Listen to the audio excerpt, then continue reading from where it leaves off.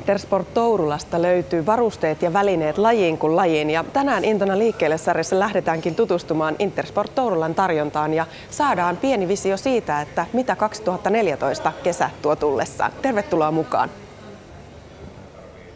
Minna Rintalahti, mitä täältä teiltä oikein löytyy?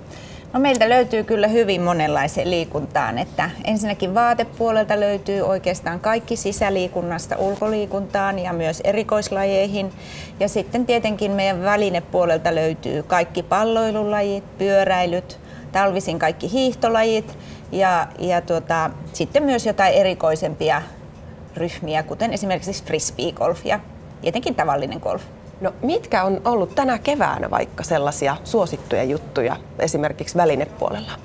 No polkupyöräthän on koko ajan suosiotaan kasvattanut ja Jyväskylähän on perinteisesti tämmöinen pyöräilykaupunki, mutta sitten on erikoisempia lajeja, esimerkiksi tämmöiset kahvakuulajumpat ulkoiluun, ulkona suoritettavat ja sitten tämä frisbee golf on nyt tullut uutena. No miten tässä vuosien varrella, niin minkälaisia muutoksia olet nähnyt sitten liikunta- tai harrastustrendeissä? Kyllä tulee aina semmoisia suosikkijuttuja. Niin kuin yhdessä vaiheessa oli rullaluistelu. Kaikilla piti olla rullaluistimet, mutta se on selkeästi nyt vaan semmoinen tietyn, tietyn ryhmän. Ja sitten oli tämä nuorten skeittailu ja nämä potkulaudat erilaiset. Että kyllä niitä, kyllä aina jotain pientä pupsahtelee välillä niin kuin, ja sitten taas vakiintuneet asiat tulee takaisin hmm. omalle paikalle. Mikä olisi semmoinen vakiintunut No asia? esimerkiksi pyöräily ja sitten talvikaudella toi hiihto. Että yhdessä vaiheessa laskettelu ja lumilautailu oli tosi vahvoja, mutta kyllä, kyllä murtamaa hiihto on ihan ylivoimainen ykkönen tällä hetkellä. No entä sitten ihan tämmöinen normaali ulkoilu, niin minkälaisia varusteita teillä löytyy siihen ja mikä olisi, olisi semmoinen hyvä asia pitää mielessä silloin, kun varusteita ulkoilu hankkii? No tärkeintä aina, kun lähdetään lenkille, oli se sitten kävelylenkki tai juoksulenkki tai ihan tas, äh, tavoitteellista juoksemista, niin on ne jalkineet. Eli jalkineet pitää olla hyvät. Mä oon aina sanonut, että verkkareissa voi olla vaikka reikä, mutta jalkineet pitää olla hyvät, kun meillä on nämä yhdet ja samat jalat, millä me koko elämä joudutaan kulkemaan. Eli oikeanlainen jalkine. Ja meillä on täällä erittäin ammattitaitoinen henkilökunta, joka osaa katsoa meidän askeltamista, minkälainen jalkine me tarvitaan. Ja siitä on hyvä lähteä. Sen jälkeen tietysti sitten mukavat vaatteet on aina sellainen asia, joka innostaa lähtemään lenkkeelle. Että semmoinen tavoitteellinen, paljon juokseva, vaatii hyvin joustavat, tiukat, hengittävät vaatteet. Ja sitten semmoiselle tavalliselle lenkkeilijälle sopii semmoinen mukava ulkoilupuku, joka sitten hengittää, mutta joka on vähän väljempi ja niin edelleen. No minkälaisia esimerkiksi uusia materiaaleja on tullut tuonne ulkoilupuolelle nyt viimeisten vuosien aikana? No puuvillastahan on nyt luovuttu täysin oikeastaan, että vielä joku tulee joskus sanoa, että mä haluaisin puuvillaisen mm. ulkoilupuun, mutta sellaista ei enää ole. Että kyllä se teknisyys on niissä tärkein asia ja nimenomaan nykyään osataan jo sitä hengittävyyttä vaatia, kosteuden sietokykyä, riippuen vähän siitä, mihin käyttötarkoituksen se tulee. Mutta tällaisista vedenpitävistä tuotteista, niin kuin Coretex-vaatteet, niin ne on kyllä sit vedenpitäviä ja hengittäviä osiltaan, mutta ne ei sit sovittaa siihen hikiliikuntaan missään tapauksessa. Et sitten on kyllä ihan yhtä märkä sisältä, koska ei, ne ei kerkee yksinkertaisesti hengittämään niin paljon, että sellaiseen hikiliikuntaan ne soveltuisi. Mikä olisi sitten hyvä matsku semmoiseen hikiliikuntaan? No semmoinen, mikä pitää edestä hyvin tuulta ja kosteutta ja sitten hengittää selästä Esimerkiksi hiihtopuvuissa on hyvin paljon käytetään tätä, että siinä edessä on semmoinen tekninen materiaali, joka pitää vesisadetta ja tuulta ja sitten selässä on ihan perinteistä verkkapukukangasta, joka hengittää erittäin hyvin. Nyt eletään parhaillaan kesää 2013, mutta mitä on tiedossa sitten vuonna 2014 kesällä? Joo, eli sitä 2014 kesähän nyt ollaan ruvettu jo ostamaan parhaillaan, että todella ajoissa ja edelleen kirkkaat ja raikkaat materiaalit tulee säilymään, että että minusta tosi kiva, kun suomalaisilla näkyy paljon väriä päällä, että me olemme aika semmoista tasaväristä kansaa, niin se on niin hyvä asia, että kaikki kehittyy eteenpäin materiaaleissa, mutta nimenomaan värit on ne, mitkä pelaa ensi kesänäkin. No, täältä frisbee golf seinältä löytyy jos jonkinlaista kiekkoa. Mitä voisit näistä kertoa?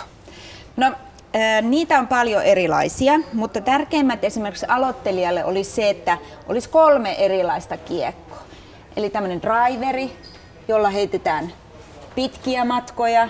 Sitten tulee näitä krangekiekkoja, mitkä on niin kuin lähestymiskiekkoja. Ja sitten on ihan niin kuin putterit, niin kuin golfissakin. Eli näillä sitten siihen ihan lähellä heitetään siihen verkkoon.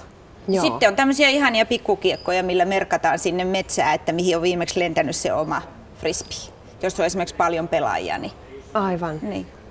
No mitenkä semmoinen aloitteleva frisbeegolfi-harrastaja, niin minkälaisella kiekolla hän pärjää vai tarviiko kaikki, kaikki kolme tuosta? No kaikki kolme kiekkoa on hyvä olla olemassa, mutta siihen on sitten tämmöisiä settejä. Aloittelijan settejä, jotka on sitten selkeästi edullisempia, ja, koska näitähän on sitten niin kuin eri painoisia näitä kiekkoja, että sitten Joo. kun tietää sen oman voiman siihen pelaamiseen, niin Justiis. Mutta aloittelija se selviää tällä paketilla. Aivan. Ja mm. sitten pikkusen vaativampi harrastaja niin pystyy sitten täältä valita. Ja siellä Joo. taisi olla vielä aika, aika monenlaisia erilaisia. Kyllä. Ja nämä on ihan edullisia kuitenkin nämä kiekot kappalehinnalta, että tämä ei ole ollenkaan niin golfiin verrattavissa esimerkiksi niin kallis harrastus. Ja Joo. Eikä ne kierrosmaksutkaan mitään kalliita ole. Että tämä on aika edullinen ja tätä voi koko perhe mennä harrastaa. Aivan. Ei tarvi mitään green cardia, että pääsee pelaamaan. Täältä Intersport Tourulan pyöräosastolta löytyy monta sataa pyörää. Mitenkä näistä sitten voisi valita se omansa? No tärkeintä on ensinnäkin, että mihin käyttötarkoitukseen se pyörä tulee. Tuleeko se harrastamiseen, eli pyöräilet paljon, vai onko se tämmöinen työmatkapyöräilyyn kuuluva? Sitten tietenkin on tärkeää, että minkä kokoinen pyörä on, eli sen asiakkaan mukaan se pyörän koko pitää myös valita, että sillä on mukava polkea. No sitten tulee nämä tämmöiset mieltymykset kuin värit, vaihteiden määrä ja niin edelleen, että kuka sitten minkäkinlaista haluaako semmoisen mummomallisen tai retrojopon vai sitten tämmöisen hybridipyörän, missä on vaihteita vähintään 21. Tota niin, niin, minkälaisia trendejä pyöräilyssä on ollut nyt tässä viime vuosien aikana? No maastopyöräilyhän oli yhdessä vaiheessa erittäin suosittu juttu. Kaikilla piti olla maastopyörä äh, lukuun ottamatta siitä, ajoiko sillä maastossa. Mutta maastopyörähän on esimerkiksi asfaltilla erittäin raskas ajaa. Hmm. Ja nyt on tullut nämä hybridipyörät, missä on ohuet renkaat ja paljon vaihteita ja ne on kevyitä rungoltaan. Ja niillä esimerkiksi työmatkapyöräilyssä käytetään erittäin paljon niitä. No. Sitten on nuorisomuoti aina ja tällä hetkellä tietenkin jopo. Entä sitten pyöräilyvarusteet? Joo, pyöräilyvarusteista tärkein on tietysti se päähän laitettava kypärä. Ja se olisi mun mielestä ihan aiheellista, että se olisi yhtä pakollinen, koska niin kuin moottoripyöräilyssä ja mopoilussakin, mm. koska se on todella halpa henkivakuutus. Mm. Ja jos sitten kypärästä lähdetään sitä alaspäin, niin tietenkin sitten hengittävät mukavat vaatteet. Jos on työmatkapyöräily, niin pitää olla myös ne sadevaatteet. Ja sitten jos harrastaa oikein kunnolla ja pitkiä matkoja pyöräilee, niin sitten housu on aika tärkeä. Mulla on tässä yhdet tämmöiset lyhyet housut, mitkä sitten voi laittaa vaikka, vaikka pitkien housujen alle. Ja täällä on tämmöinen pehmuste. Näitä Joo. löytyy naisille ja miehille ja tämä on tosi mukava sitten, kun sä pyöräilet, koska tämä peppu on aika kovilla, kun pitkiä matkoja pyöräilee. Kyllä, pidemmällä matkalla. Niin, että jos on esimerkiksi pitkä työmatka, niin silloin kannattaa tällaiset housut hommata sinne muiden vaatteiden alle ja useinhan tästä kuitenkin ne työvaatteet vaihdetaan siellä työmaalla, niin sitten mm. ottaa nämä pois. Aivan. Mutta tämä kyllä mukavuutta luo siihen pyöräilyyn oleellisesti. Kyllä. Sanoitkin tuossa, että kypärä on halpa henkivakuutus, mutta minkälaisia erilaisia näitä teiltä löytyy? No, kypäriä löytyy tosi paljon erilaisia ja nämä on sitä paitsi vielä nykypäivänä hyvän näköisiä ja mukavia päässä. Ja tota, löytyy tämmöisiä kauniita kukkakuosisia naisille, nuorille tytöille. Sitten tietysti löytyy ihan pienten lasten kypäriä. Sitten löytyy tällaisia trendikkäitä nuorisokypäriä, kun ei, jos ei nyt ihan haluta semmoista perinteistä kypärää käyttää, mutta nämäkin on kaikki ihan CE-hyväksyttyjä kypäriä. Joo. Sitten tietysti ihan tämmöistä peruskypärää, missä on hyvät ilmastoinnit, löytyy maan ja taivaan väliltä olevista väreistä kaikista. Joo. Tärkeää tähän kypärän valinnassa on se nimenomaan, että se on oikein kokoinen ja se istuu hyvin siellä päässä. Joo. Sitten siinä on semmoinen uutuus, niin. eli tämmöinen kokoon taitettava kypärä, mikä on sitten vähän helpompi laittaa laukkuun. Täysin, täysin äh, suojaava kypärä ja, ja tota, erittäin hyvin tietysti hengittää, kun täällä on pitkät tämmöiset viilekkeet auki. Ja sitten se menee tolleen kasaan kivasti, niin se niin. mahtuu vaikka käsilaukkuunkin sitten. Että jos lähtee kaupungille, niin ei ole sitten ihan tämmöinen iso kypärä mukana. Aivan. Ja se on tosi mukava ja miellyttävä päässä. Joo, ja menee noin puoleen puoleen suunnilleen se ne. menee tästä tavallisesta kypärästä.